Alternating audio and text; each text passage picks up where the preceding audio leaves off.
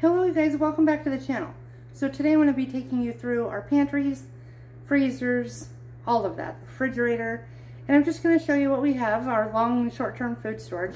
So keep in mind we're a family of two, we've become recent, new, um, not newlyweds, no, not newlyweds, empty nesters, there we go. But we regularly feed more than just ourselves, at least once a week, and so just keep that in mind. Our place is the one where we have all the birthdays, Christmas, all the parties. So let's get on with it.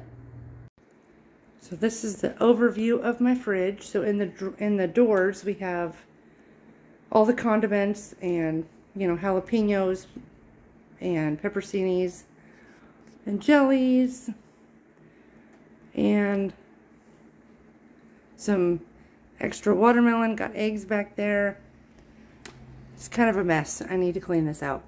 Random leftovers, which are all still good. We just need to use them up, which we probably will tonight. Got some eggs, and back there I got some smoothies, milk, oat milk, orange juice, lemon water, carrots. In this little basket I've got my cheeses, a little bit of salami, and the crisper drawer with the veggies. This one has the fruits in it. Some celery for making juice down here. Look how filthy that is, you guys. Look how dirty that is. See? I did not clean this up. And in this drawer, some more condiments, the ketchup, mustard, mayo, all that kind of stuff. Some Yoshidas for um, doing marinades. So this inside freezer, we have, oh, I forgot I had a dilly bar. Anyway, we've got some dilly bars, some nuts in here. I got these little bags of nuts when they were on sale after Christmas. I got them for like 50 cents, so I have several of those. Got some bacon, some graham cracker crumbs, cracker crumbs, bread crumbs. Um, this is a little bag I've started for making my own veggie broth. It's so good if you just take all of your leftover, you know, your just pieces that you cut off of your veggies making dinner and whatever and put them in there, you make your own broth. It's delicious. Add some herbs and whatnot. Let's see. Got a ham shank, piece of salmon, more bacon. And in this one, got some ice cream, a bag of decaf. I just buy it at uh, Winco and just use their grinder. That way I don't have to bother having my own. Some tater tots. Bananas for banana bread. Yeah, the ice cream. We got some sausages. A whole bunch of berries. Some frozen veggies down there. Okay, so remember I did not clean up before you were coming. So just keep that in mind. All right, so up top we have um, extra flour, sugar, brown sugar. This is my baking area. This one here has some beans and rice in it. Uh, this one is another, it's got cake mixes and uh, chocolate chips. This one here has marshmallows. It's a whole bunch of baking goods. But they're really heavy and I'm one-handed right now, so I'm not going to be pulling them down. We've got some pasta.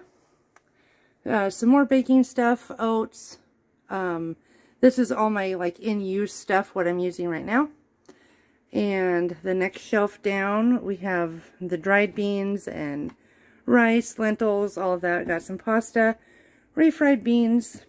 Uh, this, uh, this is really handy. I don't know if um, any of you guys have one of these, but it is really handy. I don't know how well you can see it, but it's just kind of this three-step thing.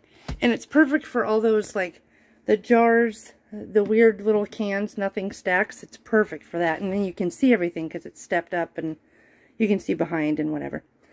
So in here, I have um, some bouillon, some random can of salmon, uh, chicken, uh, well, and actually the bouillon cubes are back here. Let's see. And this is just a whole bunch of packages of stuff. We got brown gravy, country gravy, enchilada sauce.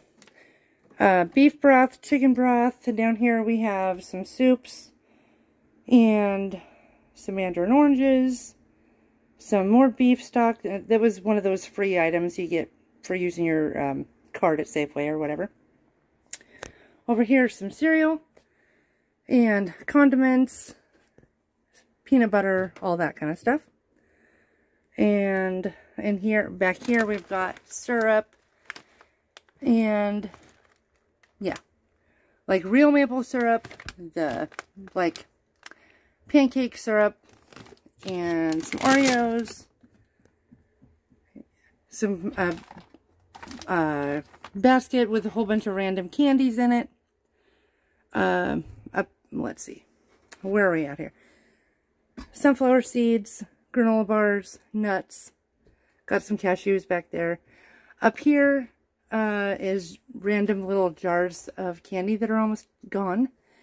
We don't have any kids that live here anymore, so uh, these are not full. I'm not, you know, using, going through them as much anymore.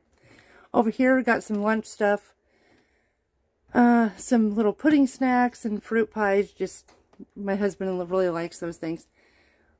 Uh, let's see, popcorn and some crackers. This is the open bag, um, basket of crackers. On this side, we have mostly uh, paper goods. Yeah, the toilet paper, paper towels. Uh, let's see. All that stuff. Aluminum foil, Ziplocs, napkins, all that. And here it looks like we have a ton of chips. And we kind of do. But I'm stocking up right now because we are going camping. And so a lot of this stuff will be taken with us. Some peanuts, teas, and the extra salt and pepper to refill all my stuff. All my shakers and whatnot. Got some seltzer waters, coconut water, some blueberry juice. And then over here, we got all the oils, and I got my vitamins and spices. You know, all the random spices and extras. So this is more of our long-term food storage.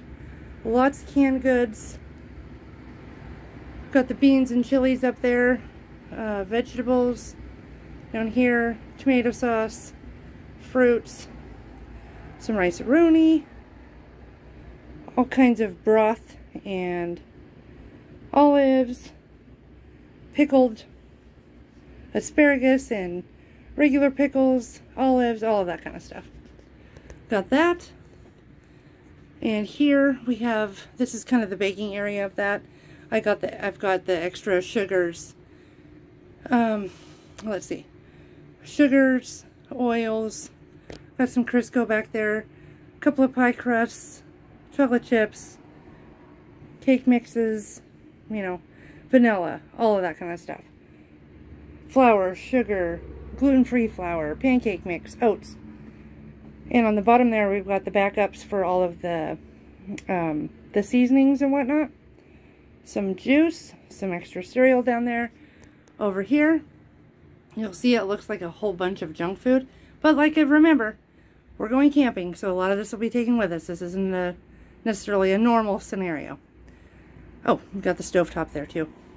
A whole bunch of honey, soups, pastas, some more condiments. We've got some canned uh, fish, salmon, tuna, fish, salmon, tuna, clams. There we go salmon, tuna, soups. And I don't know if you can see in here very well. Looks like you probably can. We've got a bunch of Ziplocs, paper plates, kitchen bags, all kind with some shampoo, aluminum foil, freezer paper, all kinds of stuff. And extra paper towels back there. So over here, we've got a whole bunch of different supplements, and I've got hydrogen peroxide, alcohol. Those are for cleaning. We use those a lot for cleaning and laundry and that kind of thing. Uh, the sprays for the bathrooms, Q-tips, batteries, and in this drawer I have a whole bunch of random things that I get for, you know, if I find something that's two for a dollar or 75 cents or whatever, I'll grab three or four of them. And so in here I've got some feminine products. Granted, those were not 75 cents, but they are backups.